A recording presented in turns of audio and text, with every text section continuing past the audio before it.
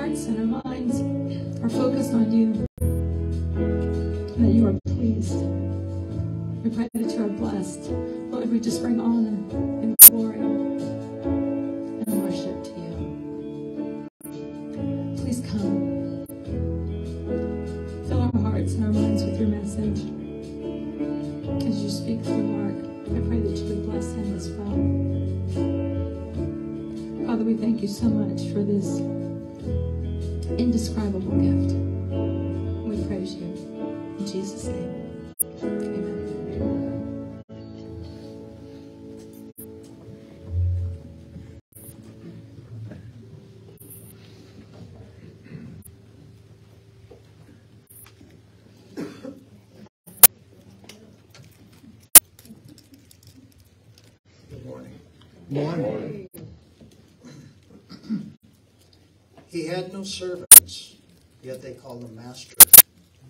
He had no degree, yet they called him teacher. He had no army, yet rulers feared him. He claimed no territory, yet they called him king. He won no military battles, yet he conquered the world. He defeated all his enemies, yet he harmed no one. He committed no crime, yet they crucified him. He was buried in a tomb, and yet he lives today. His name is Jesus. And today we're here to celebrate his name and Jesus what he's done for us. In Matthew 1, when the angel came to visit Joseph, he said, You're to call him the you're, you're to call him the name Jesus because he will save his people from their sins. And that's exactly what he did for us. And we're here to honor and to celebrate his life, his death, and his resurrection. He's the one who's given us the gift of forgiveness and the, the assurance of eternal life. Let's pray. Dear Heavenly Father, we come to thank you for that gift of eternal life, that assurance with you that one day we'll be with you and with Jesus in heaven. We thank you for going to the cross for us, Jesus, and for taking our punishment and for giving us that gift. And as we remember, as we partake of these emblems, may we remember the sacrifice you've given on our behalf. In Jesus' name, amen. And you have emblems in front of you. If you'd open those, we'll partake together.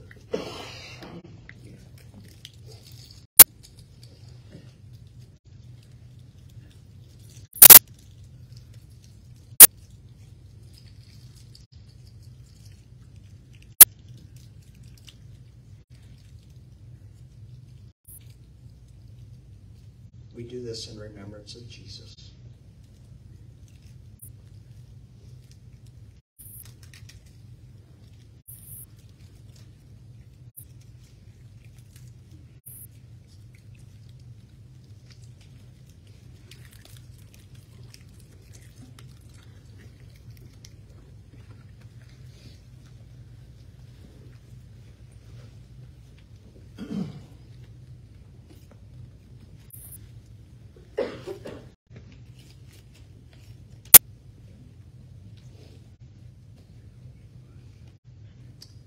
This time, we come to remember how good God is to us, mm, how He's blessed us.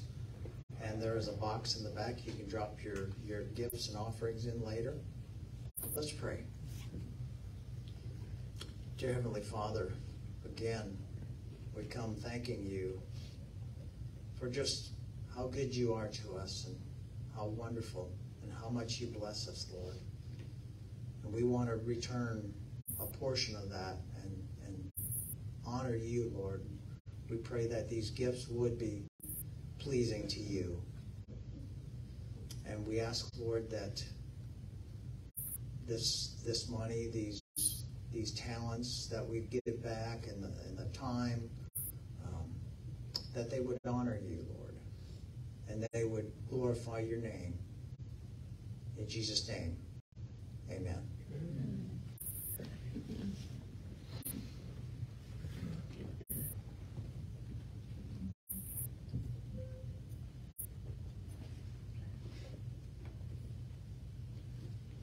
Well, December is here, and I don't know about you, but December always seems like the fastest month of the year. It just seems to go by very quickly, and uh, three weeks from today will be Christmas, and uh, there's a lot going on with families and work and school and church and different friends and things like that.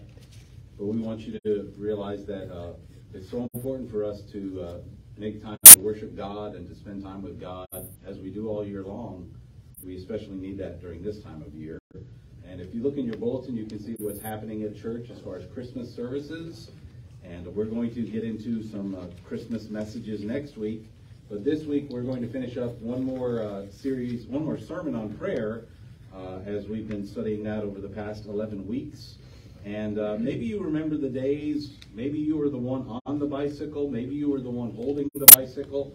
You remember that time when maybe you rode a bicycle for the very first time, no training wheels, mom and dad weren't helping you out. They kind of guide you along and then they let you go and you go off on your own.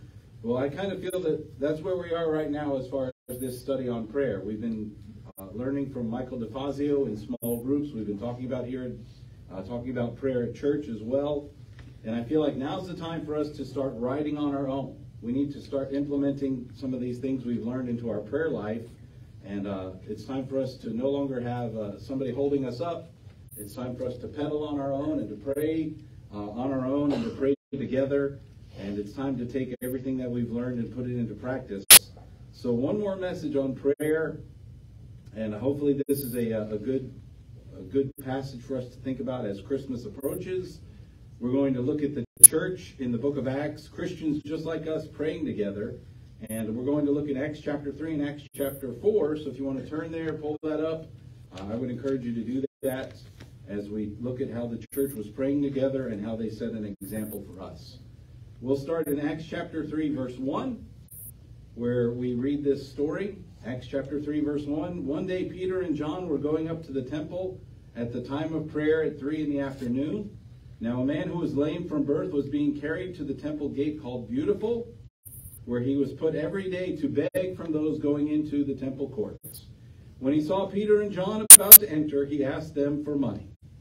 Now there, there's so much detail in every verse of Scripture. Peter and John, obviously the two great, two of the great apostles of Jesus Christ, and uh, they would go to the temple to pray because they didn't have a church building like we did. The early church would meet either in people's homes, a small group of people might meet in a home, but if they were going to meet in a large assembly, they would go to the temple where there were porches and different places where they could pray.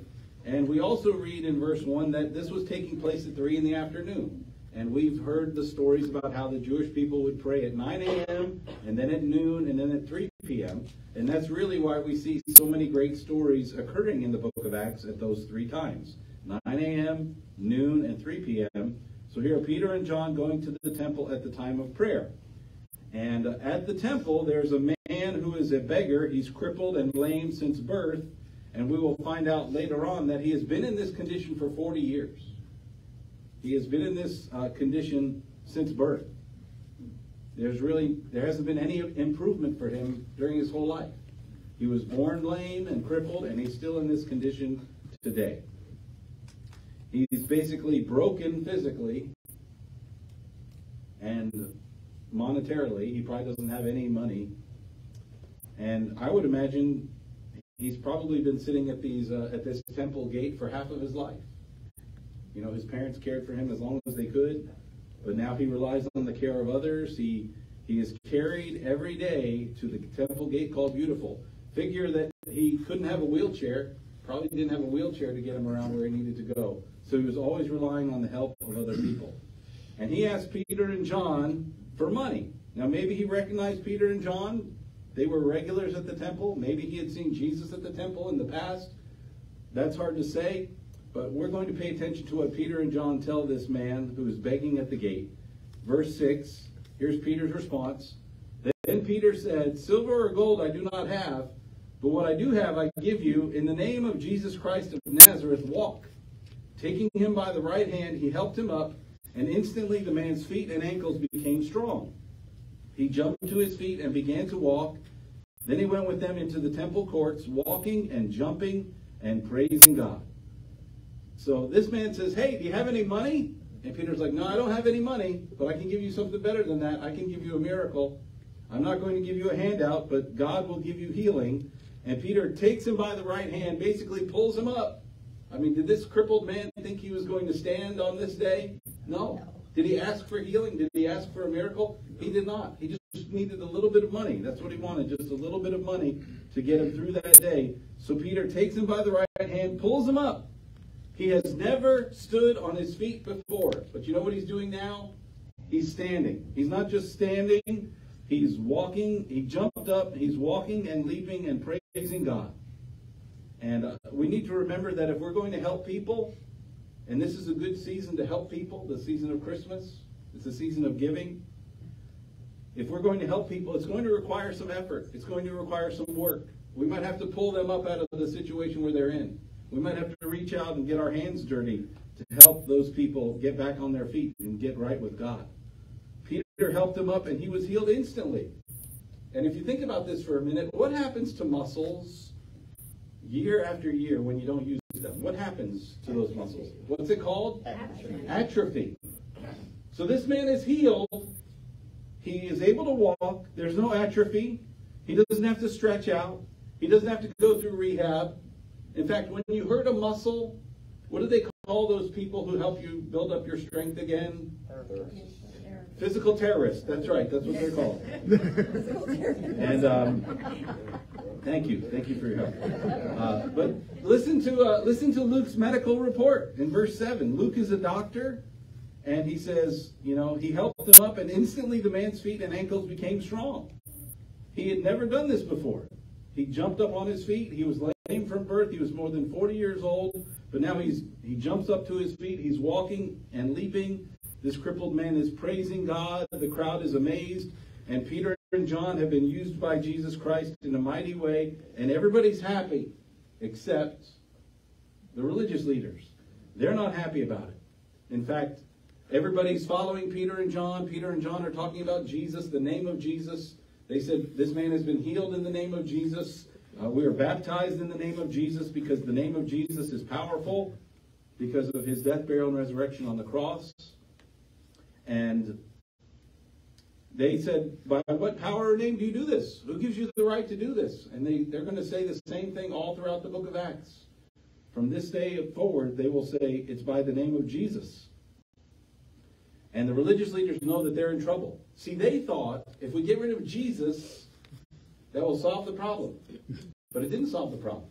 It just, this is not the right way to say it.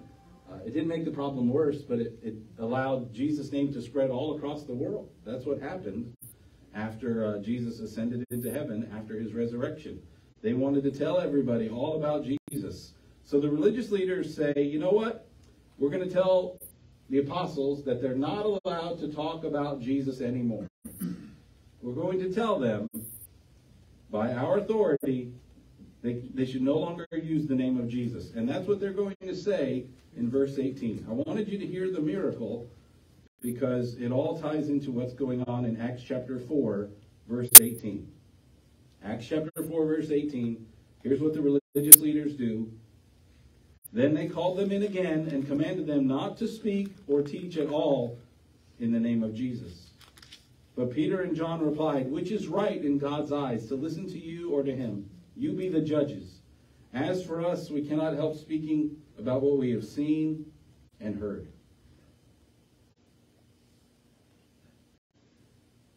Now, could you imagine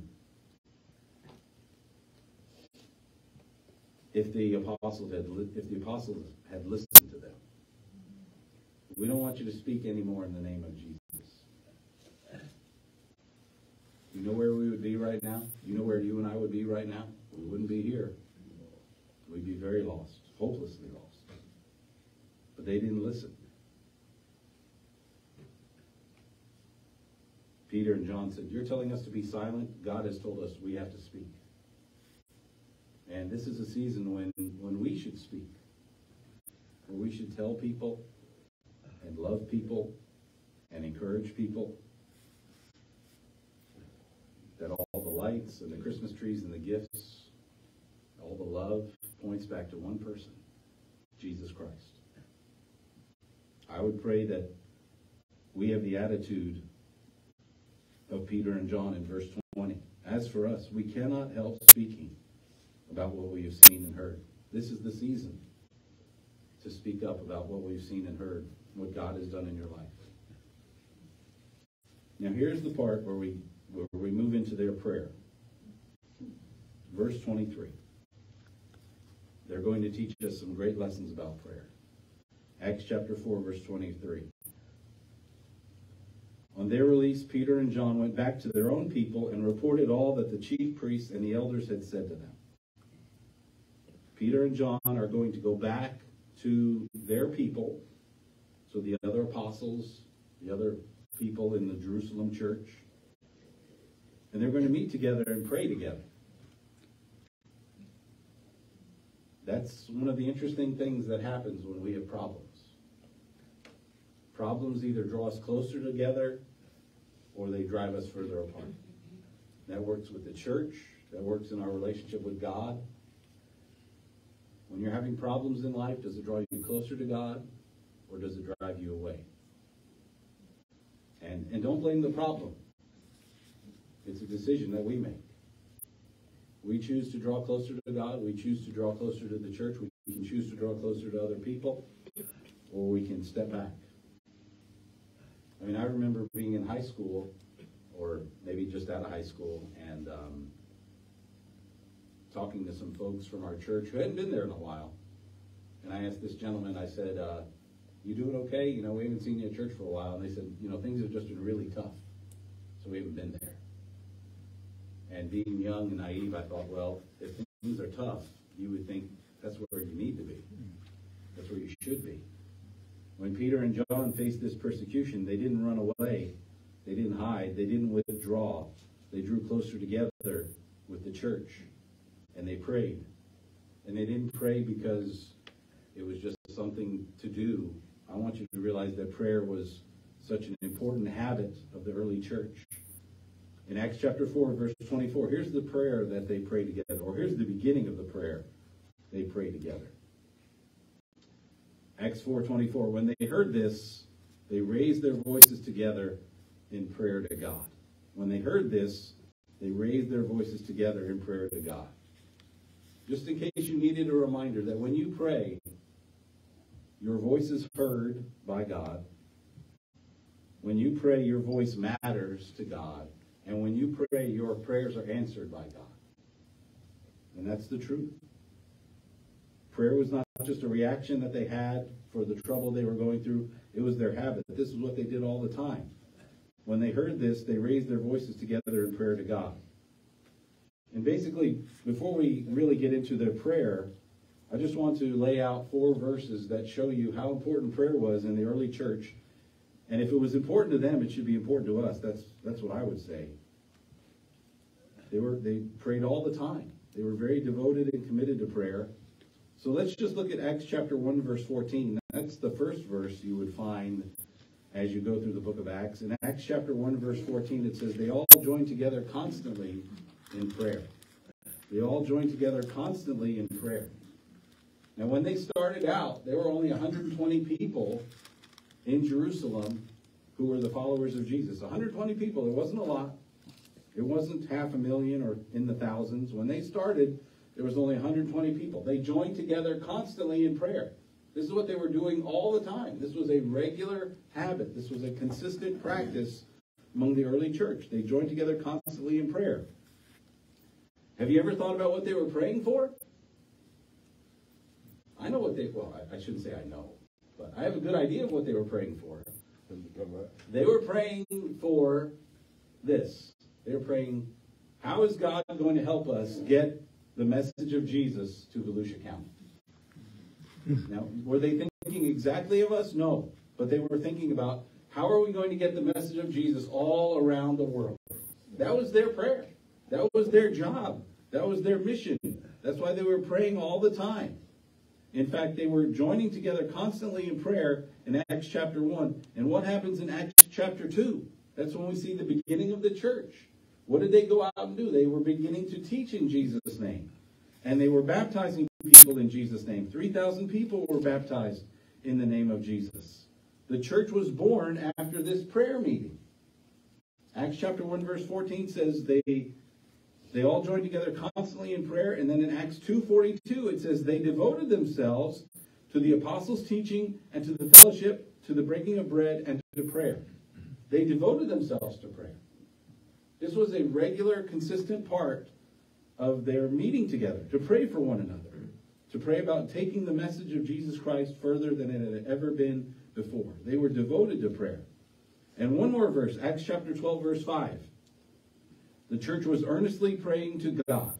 The church was earnestly praying to God. When I put all those verses together, in my mind, I just think they had such great commitment to prayer. I would hope and pray that we are having, that we have the same kind of commitment to prayer in our church. The church was earnestly praying to God. They raised their voices together in prayer to God. They joined together constantly in prayer. They were devoted to prayer. The church was earnestly praying to God. Their example is amazing. It's amazing. Now let's actually hear what they prayed. Acts chapter 4, verse 24. It says, When they heard this, they raised their voices together in prayer to God. Sovereign Lord, they said, You made the heavens and the earth and the sea and everything in them. What did they call God in their prayer? Sovereign Lord. Sovereign Lord. The first part of every prayer that we pray, you know this, but sometimes we just need to be reminded of this. The first part of every prayer that we pray is that we address God. We address God, right? When you pray to God, what do you do? Dear Heavenly Father, dear God, dear Lord. When Jesus taught us to pray, he said, This then is how you should pray. What were the first two words of that prayer? Our Father. Our Father, Matthew chapter 6. This then is how you should pray, Our Father. When it was Jesus' turn to pray in the garden, what did he call God? He cried out, Abba, Father. Same thing. Our Father, Abba, Father. Here the church is praying to the sovereign Lord. That's the first thing we do every time we pray. We address God. We've talked about that in small groups. We address God when we begin our prayer. Sovereign Lord.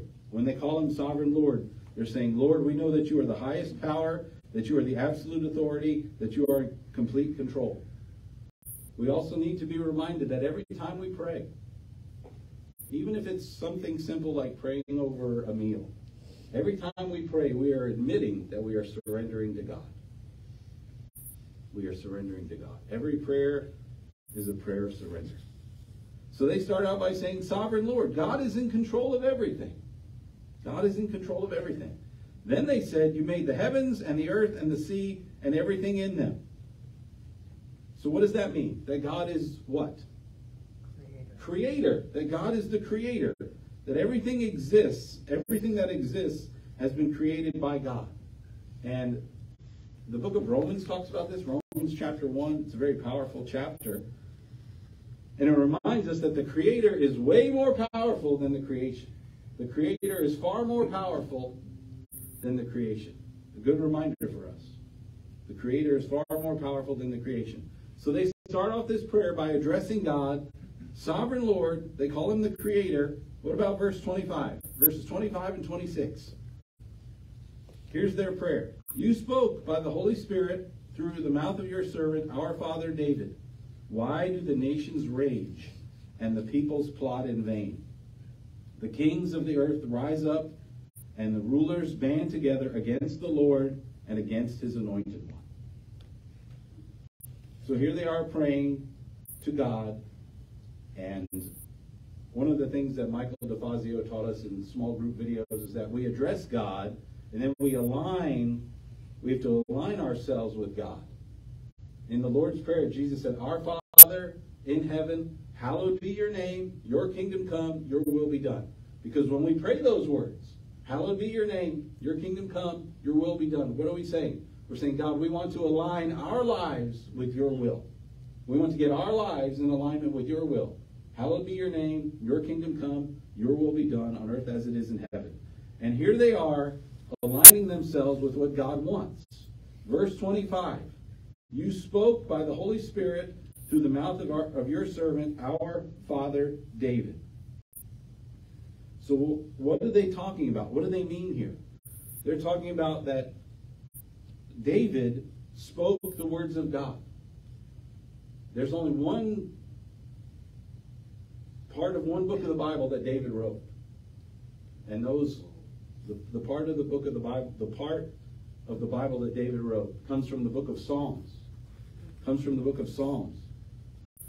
So that's what they're talking about here. They're talking about how David wrote these Psalms for God, to God. God helped him write these Psalms. So in this part of their prayer, they're talking about God. We need to remember that you are the author of the Word.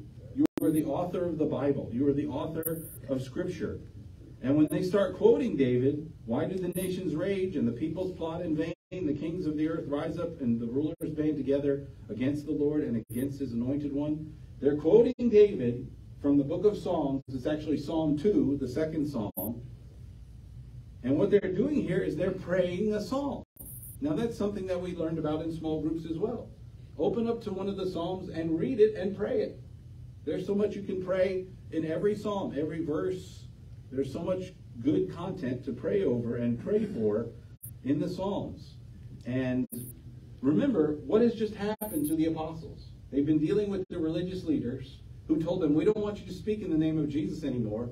And they say, Lord, you're sovereign Lord. You're more powerful than they are. You are the creator, and uh, you, you are eternal. And you also gave us the word. And when you read this psalm, why do the nations rage and the peoples plot in vain? The kings of the earth rise up and the rulers band together against the Lord and against his anointed one.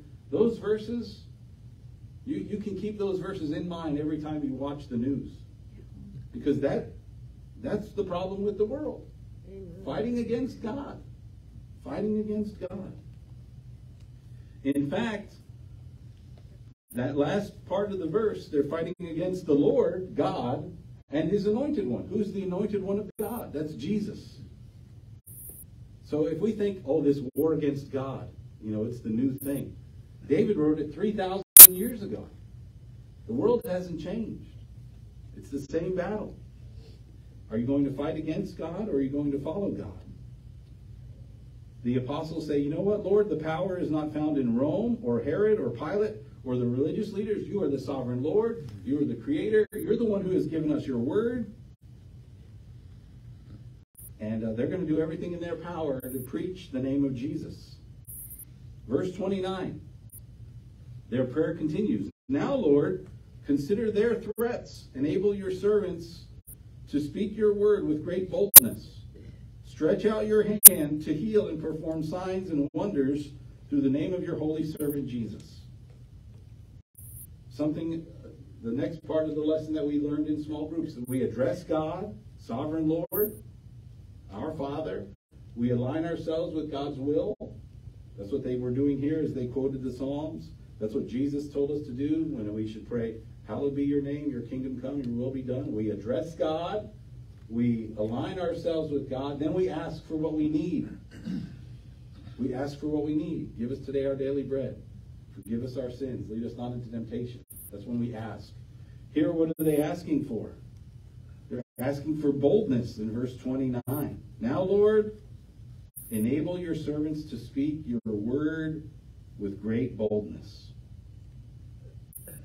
Very interesting. They didn't pray, Lord, remove those leaders and put better leaders in their place. They didn't pray that. They didn't pray, Lord, help us to get revenge against these religious leaders. They didn't pray for that either. They prayed, they didn't even pray for protection. They said, Lord, we don't want to go through this again. We don't want to go through a trial. We don't want to be held in jail overnight. They didn't even pray for protection. You know what they prayed for? Boldness to speak. They prayed for the boldness to speak. Enable your servants to speak your word. The apostles, the, the church was saying, Lord, the commission that you gave us is far greater than our comfort. Lord, we believe that following you is a life of commitment and not a life of convenience. Lord, we believe that we are here for a mission and not just to maintain until you come back.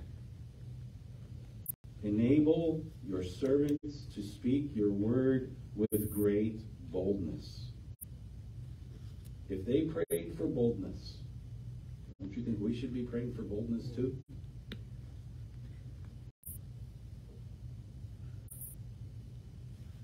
Maybe that should be your prayer this month.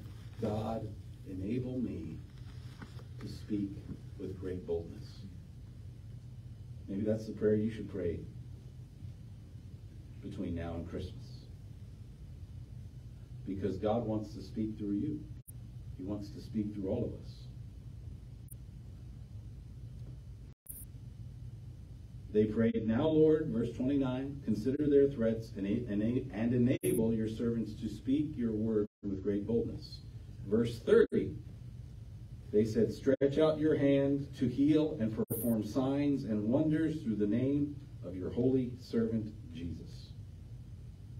Their request was, God, give us the boldness to speak.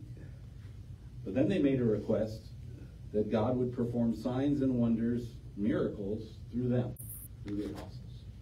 I mean, they just did a miracle, right? Peter healed the man, took him by the hand, helped him stand up. He's been lame since birth, 40 years. His ankles became strong, instantly became strong, and he stood up on his feet, jumped up on his feet, and he was walking and leaping and praising God. And sometimes we think, you know what? If we could do miracles like that, we would have far more people in church. You know, more people would believe. Now, I want you to think about this. We talked about this in our small group this past Thursday night. Jesus was perfect, right? In every way. Wasn't he? Yeah. Two people agreed that Jesus was perfect. Jesus was perfect in every way. Yeah. Never sinned. Never sinned. He's the greatest teacher who ever lived. He's the greatest miracle worker who ever lived. Did everybody believe in him? Did everybody follow him? No.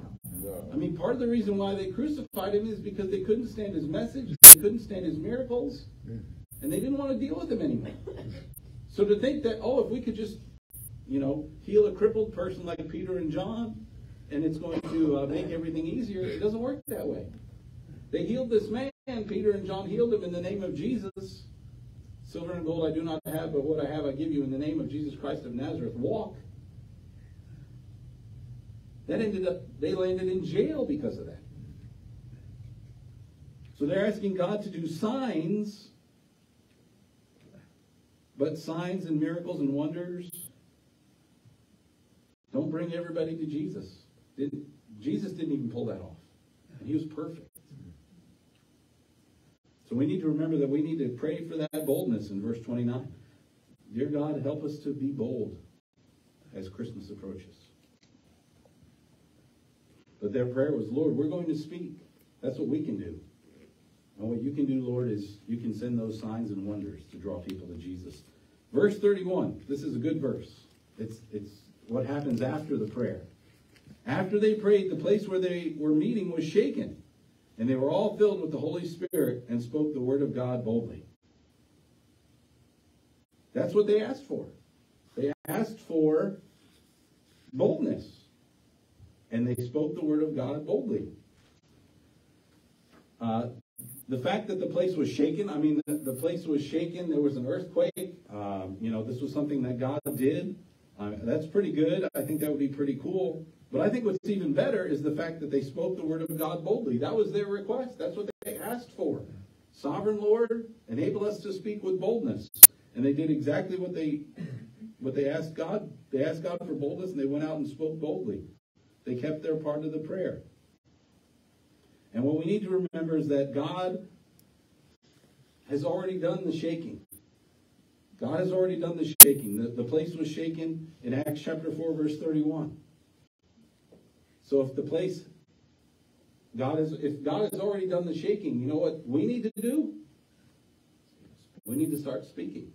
We need to start speaking. And if you don't feel like you can, Pray their prayer. Enable your servants to speak the word with great boldness. I think there is some shaking that needs to occur. I think God sometimes, well, not sometimes, I think God needs to uh, shake us out of our complacency. God needs to shake us out of our comfort. He needs to shake us out of this building because the people that need Jesus are out there. And this is the season and this is the time when they're probably looking for him more than any other time. God has already done the shaking. Just like this church in Acts chapter 4, we need to keep on praying, and it's time to start speaking. This is the time to start speaking. This is the time to pray for boldness and to tell people that Jesus loves them. We're going to sing an invitation song, and it's an opportunity for anybody to surrender their lives to Jesus Christ because you're not saved by the name of the church, you're saved only by the name of Jesus. And it's the name of Jesus that we believe in, it's the name of Jesus that we confess, it's the name of Jesus that we're baptized in. It's his name that forgives us and saves us. And uh, we're going to sing a song, and the, the first line of the song might surprise you because it's a reminder to us that Jesus came to save us while we were unfaithful to him. But even though we were unfaithful to him, he still came into this world to save us. So we're going to stand and sing together, Oh Come All You Unfaithful. Let's stand together and sing that song.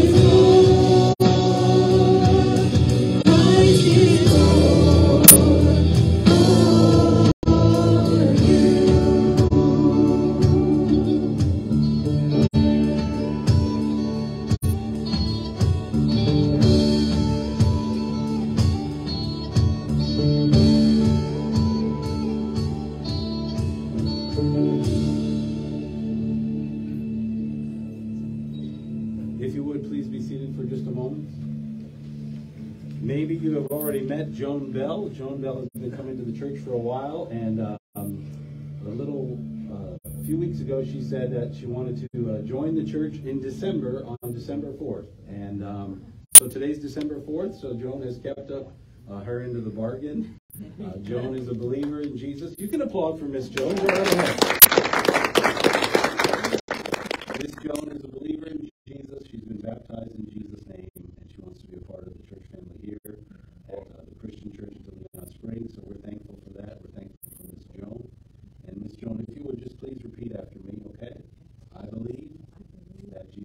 Christ.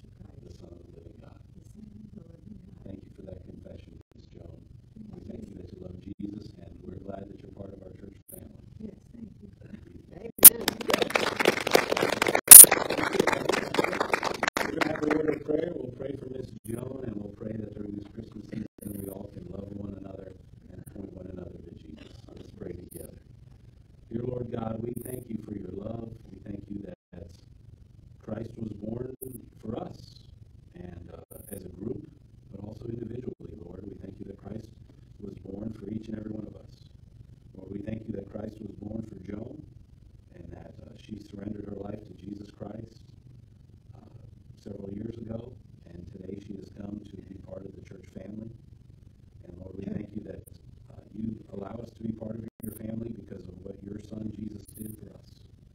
He was willing to sacrifice himself so that we could be saved. Lord, that's the, the greatest love that we could ever